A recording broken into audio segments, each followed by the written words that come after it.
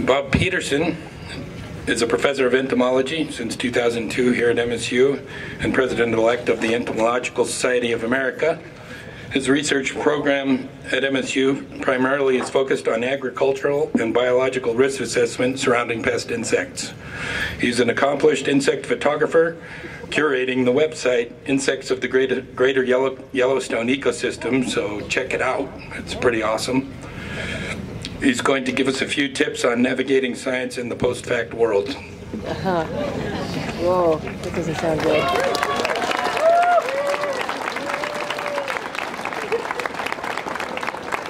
Thank you. Uh, thank you, Adrian, and all the students who helped with this. It's amazing that this is a student-led activity, and it's amazingly successful if you look out and look to your right and look to your left.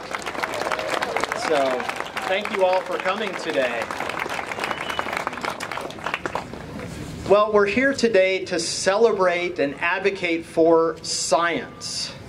But what is science?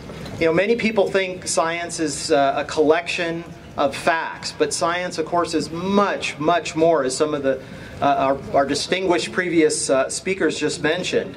Science is a rigorous process for understanding our natural world, and it's been extraordinary success story in how we know what we know about our world. Science is really the best way we have of knowing about reality. I mean, just let that sink in. That's pretty amazing. I'm reminded, I just saw before coming here a, a, a message on social media from Dr. Michael Shermer, and he said science should be a verb. Right? Not just a noun. We science. It's an activity. It's not just a repository for a collection of facts.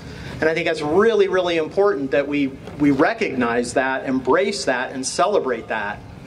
If I can um, paraphrase the, the late, great Dr. Carl Sagan, uh, he said, Science is our best tool for revealing deep truths and winnowing out deep nonsense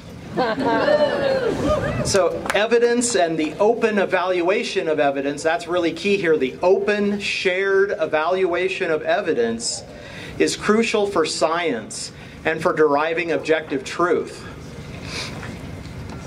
But um, we are now experiencing a reality in which basic facts, evidence, and the scientific method are being largely disregarded in favor of dogmatic worldviews and biases that are not supported by objective evidence of any kind. Yeah. Therefore, we're here today. That's why we're here today, right? Is to push back on them.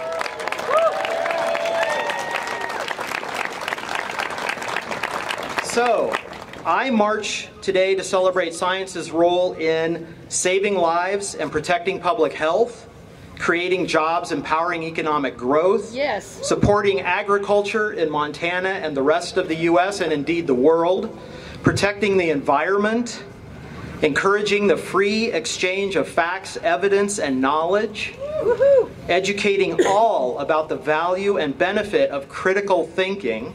Yes. and I stand here today to celebrate science, science's role in supporting evidence-based democratic decisions. Yeah.